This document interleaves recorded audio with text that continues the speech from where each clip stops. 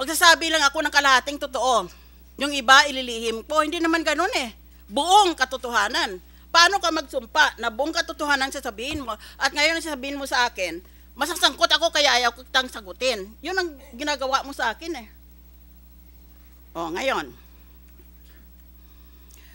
Ikaw ba'y nakipagpulong sa isang abogado o mga abogado tungkol sa sabihin mo ngayon? Ah, binigyan ka kaninang 30 minutes eh, di ba? Opo. O maliban dyan, yung dati mong abogado, si Attorney Lorna Kapunan, Opo. nag-usap din kayo. Opo. Sino pa? Maliban dito sa mga abogadong ito, o yung isang abogadong pa, pa maring si Attorney Villa Senior. Pero maliban dyan, sino pang kausap mo tungkol sa plunder case? Wala na po. Wala kang kinausap? Yung senador? Ay, wala po. Sigurado ka, ha? Hmm, Wala po. mamaya paliwanag ko nakamali ka. Ikaw ba'y nag-attend ng mga meetings at nandyan ang mga testigo at nagpirmahan kayo? Kung anong sasabihin ninyo? I invoke my right po. Okay. Ikaw ba'y nagbasa ng iba pang mga mababasa mo para maganda ng iyong sasabihin ngayon? Wala po. Wala? Hindi ka nagbasa o hindi ka marunong? Wala po. Okay? Ikaw ba'y gumawa ng mga nota sa isang notebook tungkol dito sa mga sinasabing pagbibintang sa iyo tungkol sa plunder? Wala kang notes ng ganon? Wala po. At diminasa mo bang affidavit at iba pang mga statements or affidavits na ginawa ng mga whistleblowers? Wala po. Wala po kaming kopya. Hmm. Alright. O, nakita mo na. Sabi ko na eh. Sasagutin mo lang ako with a blank wall. Anong alam mo? Nakadedma ka sa akin. Paano tayo ngayon ma- makaabot sa katotohanan? Hindi bale. Question. Next question. That's one set of questions. Pinagbadali-dali ko lang dahil alam ko ng sagot mo ay I invoke my right. Ngayon tingnan natin. Mrs. Napoles, napaliwanag na ito sa iyo ng abogado mo. Pero hayaan mo sana ako na magpaliwanag uli sa iyo. Anong ibig, ibig sabihin ng maging state witness? Kung ikaw ay nakusa na demanda ng isang krimen, natural magbista ka, hatulan ka, kung found guilty ka, mapipresyo ka, magbabayad ka ng isang multa, no? Ganon, hindi ba? Ngayon, hindi ka maka uh, makalusot pag may ginawa kang krimen, maliban lang kung ikaw ay tinatawag na state witness. E biro mo, bigat ng demanda sa iyo. Punishable by 30, by 20 to 40 years imprisonment. Sinabi yan sa iyo ng abogado mo, sigurado ako. Mga 50 years old ka pa lang eh. Plus 20, 70 ka na paglabas mo. Plus 20 years old, plus 20 years, 50 plus 20, maging 70 ka, no? Uh, 50 plus 40, maging 90 ka na. Kasing, kasing tanda ka na ni tanda. Oh, ngayon lahat yan, papasukan mong gulo na yan dahil ayaw mo lang na magsabi ng totoo. Pinoproteksyonan mo ang tao na baka siya ang pinaka-guilty.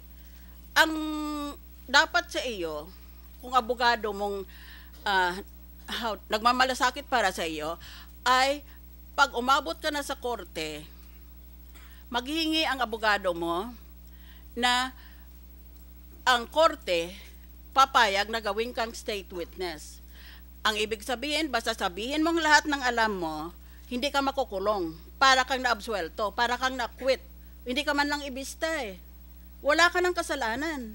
Basta sinabi mong lahat, wala ka ng kasalanan. Acquitted ka na. Found innocent ka na. Pero, kung hindi ka state witness, mabista ka. Pagpalagay lang natin na found guilty ka, you will suffer a penalty of imprisonment of 20 to 40 years. Kaya lahanin mo yon. Mamili ka. Gusto mo na wala ka ng sala? Ayon pa sa batas yan, ha? Gusto mo na kung malakas ang ebidensya, makulong ka ng 20 to 40 years. Eh natural, kung akusado ka, ang tao, natural, as a natural sequence of events, will choose to become a state witness dahil wala na siyang pananagutan eh, libre pa siya. Oh. Ngayon, babasahan kita ng Rules of Court na libro ko rin. Pero hindi ako libre magsabi ng gusto ko. Kung hindi, sinusunod ko sinabi ng Korte Suprema. Nakita mo itong libro na ito, Rules of Court Annotated by Miriam Defensor Santiago. At maliban dyan, 30 libro ang sinulat ko. Yan, lahat na yan, ininsulto ako ng aking mga kapwa senador. Mga inggitero.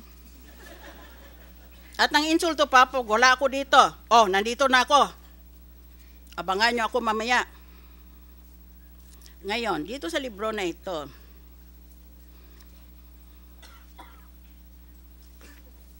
mahirap lang kasi pag nakapaligid ka ng inggit eh. Ano nang ang hinahanap ko sa iyo? Oh well, anyway. Imimaryo ko na lang. Sabi ng korte, rules of court. The rules of the Court of Justice. Ang akusado, hindi dapat napawalang sala. Maliban lang kung siya ang paraan para madakip at makulong ang mga talagang malaki ang kasalanan nila. Pero akusado nag-apply maging state witness, dapat he must meet five criteria. Lima ang listahan ng husgado eh. Number one, there's an absolute necessity for your testimony. Number two, there is no direct evidence against the others. Number three, there is your testimony is substantially corroborated on all important points by other witnesses. At itong pinakamahalaga, that the accused is not the most guilty.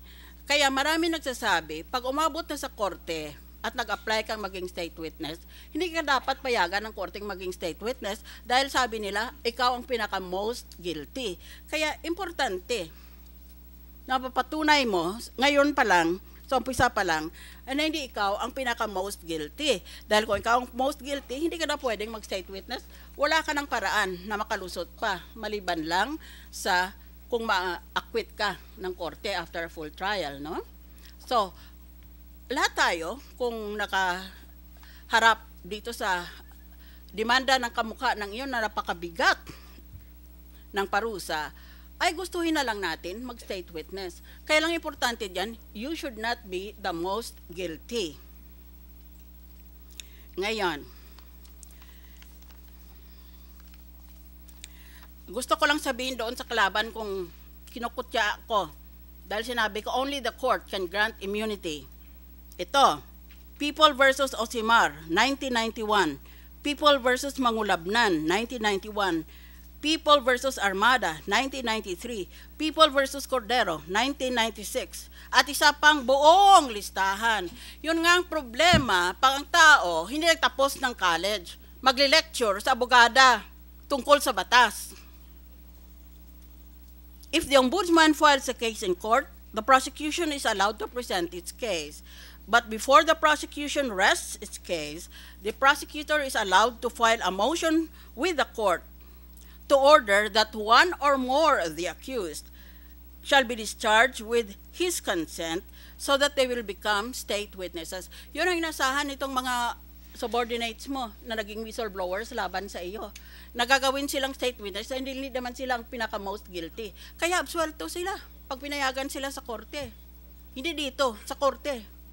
Absuelto sila, wala silang pananagutan. It's as if they, they will not even be tried. Hindi man lang yan sila bistahin eh. It's as if they went to trial and then they were pronounced to be acquitted. Ganon yun. Kaya lahat yan magiging state witness dahil wala namang limitasyon kung ilan ang state witness. There is no limit. Ibang tao, akala nila, isa lang pwedeng state witness. Hindi. Lahat pwede kung gustuhin ng korte. Kaya ikaw sana, yun din ang hangarin mo eh, na makalaya ka at wala kang pananagutan na sa batas. Pero, una, binasa ko, eh, nirecite ko sa iyo yung five requirements, no? Kailangan na hindi ikaw ang most guilty. Dahil marami niniwala, ikaw ang most guilty dahil lahat ng foundations na hindi naman pala totoo, sabi nila, ay mga fake NGOs na ikaw ang nagpundar o ikaw ang nag-umpisa o ikaw ang nagpalakad o kaya they don't really exist except your say so. Kaya,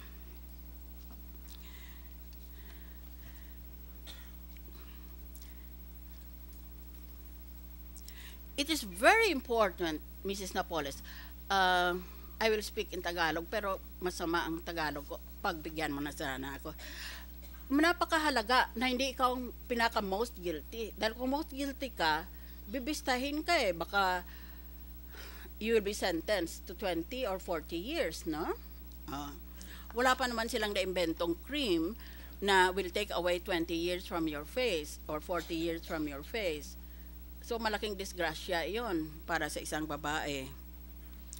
Hindi mo naman siguro inaamin na ikaw ang most guilty. Inaamin mo bang you're the most guilty? Hindi po. Ah, no, of course not. Kaya, kung ayaw mong aminin na ikaw ang most guilty, dapat lang sabihin mo ngayon pa lang, sino ang most guilty sa tingin mo? Para hindi niya ilipat sa iyo yung pagka-most guilty niya. Kasi yung taong yun, nakikinig sa atin eh. Hindi nagpapakita yan eh, yan ang style niya. Pero nakikinig yan at napakaraming pera niyan. Pagkatapos nito, para lakarin niya ang magalamay niya. Sisiraan niya ako, halimbawa. O pati ikaw, pasiraan ka na rin niya. Maraming gustong patayin ka eh. Kaya, tuturuan na kita bilang isang abogada na sabihin mo nang gusto mong sabihin para hindi ka na ipapatay. Kung hindi ka pa nagsasalita, sabi mo lang, invoke my right against self-incrimination, baka bandang huli, down the road, magpalit ang isip mo at nagdaldal ka ng lahat o di panganib sila. Pero kung sabihin mo na ngayon, nawala na sila ng motibo para papatay ka dahil nandyan ang testimony mo eh. Kinukuha yan ng sinographer dito eh. And that is under oath. It is in effect an affidavit. Or maybe even a dying declaration. For all you know. Dahil a dying declaration has very strong probative value pag sinabi mong sa tingin ko, patayin ako ng ganyan, maski patay ka na, napakalakas ng, ng papel o affidavit mong yon dahil it was given in consciousness of impending death. O, kaya, yun ang paliwanag ko sa iyo para mapag-isipan mo pag mag-isa ka lang. Hin, pag pinayagan mo itong takbo ng mga pangyayari, maring lilitaw ka, you are the most guilty. Pero sabi mo, hindi ikaw ang most guilty at naniniwala ako sa iyo. Dahil, hindi ba, high school graduate ka, hindi ba? Opo. Nagpunta ka ba ng college? Hindi po. Oh. Hindi kaya, sa tingin ko, ng isang kamukha mo, although, sinasabi ko even in public, na di abilidad ka talaga. May abilidad ka, your mind is very organized. But never mind that. Habang buhay ka pa, napasa, nasa panganib itong mga senador at iba pa, baka cabinet member. At lalo na yung mga congressmen na napangalanan na ng mga subordinates mo. Nasa panganib silang masira ang buhay nila, mawala ang pag ang kayamanan nila kasi kung found guilty sila of plunder, lahat ng kayamanan nila kukunin ng estado yun eh. Malaming panganib sa kanila na buhay ka. Pero kung ngayon pa lang sasabihin mo na, wala na silang motibong patayin ka pa. Dahil ang record mo, ay dokumento na. Kaya mag-isip-isip ka. Sabihin mo na maaga pa. Huwag mo ipatihuli yan, ipapatay ka. These people are murderers. They're not only homicidal, they're murderers. They're planning your murder. So, ngayon pa lang, sabihin mo na, sa tingin mo, sino most guilty dito? Sa mga nasangkot? Hindi ko po alam. O hindi mo alam? Oh, ako alam ko eh. Dahil napakalawak ng sakop niya, parang empire niya eh. Hindi naman pwede na ikaw, nanggaling ka lang sa basilan, hindi naman sa minamaliit ko mga taga-basilan, but what I'm saying is, wala kang sophistication. You're not exposed to the sophisticated lifestyle of Metro Manila. Hindi ka man nag-eskwela dito sa Metro Manila. Kaya biglang sabihin ng galing ka sa mahirap na pamilya. Dahil maski taga Basilan, Mindanao ka o doon ka sa mga malalayo na norte na probinsya, kung may kaya ang pamilya mo, talagang mag-ipon yan para maku-eskwela ka sa Metro Manila. Ikaw hindi ka man pina-eskwela dito, eh, nagkayod ka lang sarili mo eh. Kinuha mo sa sipag at tiyaga. O, ngayon, kawa ka naman na ang ginawa ng isang tao o grupo ng tao, senador man, senador. Mrs. Napoles, narinig mo ako? Senador! Kasi yan ang pinakamataas eh, pagkatapos ng presidente. Ang vice presidente, ang hanap buhay niya ay magantay na matiklok ang presidente. Kasunod doon sa presidente, ang senador. Yun ang most powerful person. Pagkatapos niyan, ang cabinet member. Kaya, ayaw nga naman, kung pakasira ka sa kanila, na ikaw ay makukulong ka for 20 or 40 years. Dahil lang sa pinoproteksyonan mo, ang most guilty of all. Hindi mo kaya itong buong empire na ito eh. You cannot make a pyramid out of separate bricks. Ah, pag-isipan mo yan. Kung sa ngayon pa lang sabihin mo ng totoo, wala ka ng problema maski lumakad ka dyan. Maski lumakad ka ng hubad, walang titingin sa iyo. They won't even be interested in you. Dahil na, nabilin mo ng katotohanan dito sa amin eh. So that is just the point. I'm trying to very hard to belabor that particular point. Ngayon, nitong panahon na sakop ng investigasyon ng NBI, nung panahon na yon, sinong pinakamatandang senador during that time? Nung panahon na yon, covered by the NBI. Sino pinakamatanda? May matanda pa ba kay Enrile? Hindi ko alam. Hindi ko yeah, alam, ma'am. probably you don't know. But he was the oldest senator at that time. Kaya sino pa kayang pangalanan mo ng tanda? Alangan pangalanan mo itong si Senator Trillanes dahil siya ang pinakabata yata ng senador. Kaya, inaangkop ang palayaw ng tao sa kanyang sitwasyon. Magiging ganon yon. Kaya kung si Enrile ang the most guilty, sabihin mo na ngayon para malibre ka na at hindi ka na niya ipapatay. Alam mo yung taong yan, pag pumunta yan sa bathroom namin dito sa aming Senator's Lounge, may gwardya yan sa bathroom, sa kubeta, na naka-long, long firearm, assault rifle. Ganon. Kaya mahirap kang, wag mong i-underestimate yung Enrile na yan. May asim pa rin si Tanda. Oh, tapos na ako dyan. Pinapaliwanag ko lang ng bubuti sa iyo. Question number three. Ang, ang asawa mo, si Napoles, dati reservist lang yan. Nagpa-activate siya hanggang siya naging major siya, hindi ba? Nung bata pa lang kayo, 18 ka pa lang, nag-asawa ka na, kaya di ka siguro nag-eskwela sa college. Pagkatapos, natira kayo sa kampo militar at mayroon pa kayong karinderya. O kaya may binibenta kayo doon sa mga sundalo. Ganon kayo nag-umpisa, hindi ba? Kaya itong asawa mo, militar. Si Enrile, buong, halos buong career or professional life niya, naging militar dahil Secretary of National Defense during martial law. Kaya ganyan ang ugali niyan eh. Hanggang ngayon, akala niya, mga utusan niya at mga alipin kami. Ako yata, aliping sa gigilid. Meron aliping ma- na mamahay or something like that he treats he treats us all as his slaves, as his as his moral and mental and intellectual slaves. Dahil nasanay siya sa mga arte at arrogance ng Secretary of National Defense during martial law. Ngayon, ang dami ng matapang. Ang dami nang nang insulto kay President Marcos. Eh, nung panahon na yun, katakot lang nila kay President Marcos. Kitang-kita ko eh. Isa na si Enrile. Dahil assistant ako ng Secretary of Justice kung minsan natutuwa siya sa akin, pinapaupo niya ako doon sa cabinet meeting para makita ko may tsura ng ibang cabinet. Meron isang cabinet member doon na pag sinabi ni Marcos, itong tatanong sa iyo, nanginginig ka agad. Kaya di ako takot eh. Oh, ngayon. Halos buong yatang buhay ng mister mo ay naging major siya hanggat sa nag-retire na siya, no?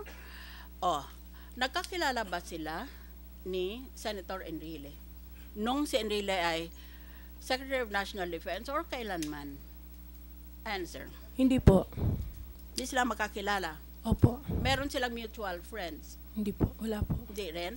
Pero itong si Jaime, na asawa mo, kasangkot iyan sa military coup d'etat ng pangalan nun ay God Save the Queen para papatalsik si President Cory Aquino. Hindi ba totoo yan? Hindi ko po alam. Ay, hindi mo alam. Nag-asawa kang taong hindi mo alam? Ay, hindi. Alam ko nagkudita po, pero hindi ko alam kung ano yung mga... Ay, yung Siyempre. kudita, alam mo. Kasama siya doon. Opo, syempre command, kung anong utos ng command, di ba? Sinunod nila, pero wala akong alam mga kung anong queen, queen, hong pamagat, hindi ko po alam. Okay. Basta mayroon siyang, sangkot siya sa kudita. Nakulong ba siya doon? Hindi po. Hindi siya nakulong? Opo. Hindi siya nakulong kasama ni Senator Honasan? Ay, hindi po. Ah, hindi totoo Hindi po. yan. Okay. Next question. Ang legal counsel mong si Rene Villa. Interesanto ito ah. Nagbasa ko ng ganito kakapal niyang biodata. I have to say that I've never met a biodata with such unparalleled mediocrity. Oh, sabi nitong Rene Villa, na taga Iloilo yan pero hindi ko kakilala. He said, naging abogado mo, totoo ba yon? Opo. And then he said, nagyuman ka, hindi dahil dito sa mga NGOs, kung hindi dahil sa iyong international trade. Opo, sa Indonesia. Ayon lang, yung coal mining sa Indonesia. Yun lang yon. Opo, tsaka sa iba pa po. Ah, mayroon pa iba. Pero yung coal mining sa Indonesia, hindi nagtagumpay yon, hindi ba? Or hindi Yung- natuloy? Yung tinayo nil bago, pero yung dati pa po, ongoing pa po. At nag-isip ka pa ng trading of carbon credits. Totoo ba yon? Opo. Sinong kausap mo sa trading of carbon credits? Sa US po. Ah, sa Amerika naman. Opo. Ang dami, international personality ka pala. Ang dami mong kausap pa. At ito palagi ang abogado mo. Ngayon, para mo malaman, no? Para hindi mo ako i-underestimate. Nang nag-doctorate ako, kumuha ako ng subject ng international trade law. Walang kabuhay-buhay ang subject na yan. Konting-konti lang kami ang kumukuha.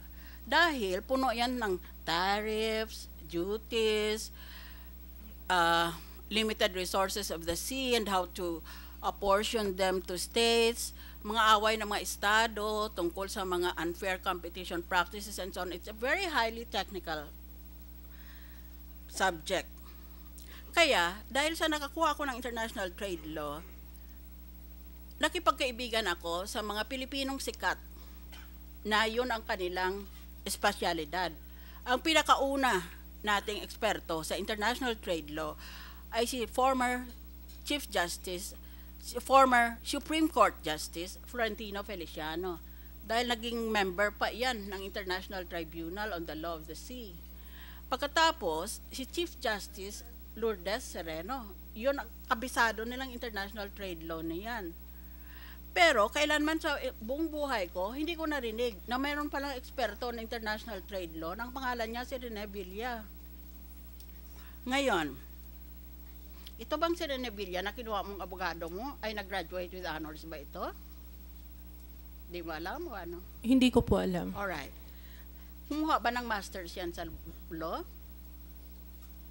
Hindi ko po rin alam. Oh, paano lang ngayon in-advertise ng sarili niyang he's daw an expert in international trade law. Ulit nagtrabaho sa Kuwait, sa, sa Jeddah, at sa Saudi Arabia.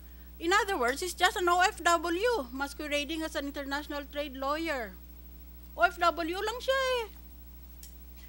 Ah, pagkatapos sabi niya, kasi mga negosyo ni Mrs. Napoles doon sa Indonesia, doon sa international trade ah, credits, ako ang nag-advise sa kanya. Pero hindi ko alam kung magkano talaga ang pag-aari niya. Hindi ko alam kung ilan ang bangko niya. Hindi niya alam. Pasikat mong tao eh. According to the Securities and Exchange Commission, number of houses owned, 28. Totoo ba yan? Hindi po. Oh, ilan ang bahay mo? Tatatlo? Oh. Ay, kukunti naman masyado. Eh, na- nasaan itong 20, the others? Ma'am, may kaso na po kami sa NBI. Ah, sa NBI, sorry po, sa BIR. So, So, doon na lang po namin sasagutin, ma'am. ah, Sorry basta. po. Sa, okay, it's all right. Number of vehicles owned, according to Justice Department, 30. All registered under the JLN Group of Companies or JLN Corporation. Totoo ba yan? Hindi po. Oh, ilan lang ang sasakyan mo? Ah, Pito po. Pito lang. Number of accounts with banks, 415 accounts with 17 different banks. Ilan lahat? Ah, hindi po, pero I invoke my right ho dahil thank you Yeah. po. Pero hindi ganun kadami. All right. Na-exaggerate. No? Pero, sa lahat nito, hindi intindi ito ni Rene Villa who claims to be your lawyer. Inter- international trade lawyer daw siya. Ulit naging OFW. Ay di lahat palang mga kasapi ng pamilya natin na OFW, pwede na sila ngayon tawagin ng mga ah, human resource experts or management experts, kung ganyan rin lang, no? Yung abogado mong yon, suspityoso ako doon. Sayang ilong ko pa man din. Catholic ties mo. Is it true that you are close to uh, the former parish priest of Quiapo Church? Opo. Yes. So, tinuruan ka niya o sarili mo, alam mo ang Ten Commandments, hindi ba? Opo. Oh, huwag ko nang iparecite sa iyo. Pero, may commandment, you shall not steal. Isn't that so? Tama ba ako? Opo, ma'am. Oh, naniwala ka bang tama iyon? Opo. And yet you steal. Oh, anong klaseng katoliko ka? Ngayon, are you familiar with the commandment, you shall not tell a lie? Opo. Oh, ngayon lang nagsisinungaling ka sa akin eh. And still, with a plunder case against you, you remain and consider yourself to be a devout Catholic? Ikaw ba'y debotado pa rin katoliko? Opo. Ay maniwala ka na lang, magdasal ka na lang ng Diyos pag namatay tayong lahat ay katoliko. Dahil napakahirap i-forgive yung mga kasalanan na binagbibintang sa pinto mo. Ngayon, question 6. Ito medyo may pagkaligal, no? Mr. Chair, I will try and be very brief because I'm very conscious that I'm using borrowed time. Perpetuation of testimony. Sinabi ko na sa iyo na ang daming senador, ang daming cabinet members, ang daming congressmen who are murderous. They're not just homicidal. They feel like murdering you. Gusto nilang patayin ka. Kasi dyan sa utak mong yan, nandyan ang, pag, ang pagkakasira ng kanilang mga hindi lamang kayamanan, buhay nila, masisira, pati pamilya nila. Kaya importante na masara, na malagyan ng duct tape, yung electrician's tape, ang bibig mo. Yun ang pinapaalala ko sana sa iyo. Alam mo yan, kasi pag pumunta ka dito eh, balot na balot ka, hindi man makita ang mukha mo. At kaya ulitin ko na naman itong punto na ito. Eh kung sabihin mo ba, ngayon pa lang, ang totoo, mamaya sa aking mga kapwa senador, di wala ka ng problema. Eh nalaman na ang totoo eh. Pa, bakit ka pa nila patayin? Hindi naman mamamatay ang testigo mo. Well, anyway. Ngayon, pero, dahil sa pinag-initan ka, pwede na magingi ka ng protection sa ating rules of court. Yung librong pinakita ko kanina, under Rule 134, tawag doon, perpetuation of testimony. Ibig sabihin, ang testimonya mo o yung kwento mo sa korte, kung anong nangyari, magiging permanente yon maski wala ka na. Perpetuation of testimony. Una, mag-file ka ng petition sa korte. Pag umabot ka sa korte, naka mo, ah gusto ko sana na hindi na ako pahintayin pa sa bista na ito. Kung hindi, gusto ko nang sabihin ng aking testimonya o